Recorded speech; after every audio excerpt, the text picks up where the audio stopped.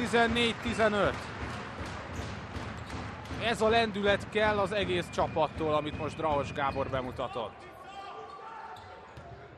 Ő is kiemelte, hogy némi malíciával meg is jegyezte közben egy zsákolás Svensson.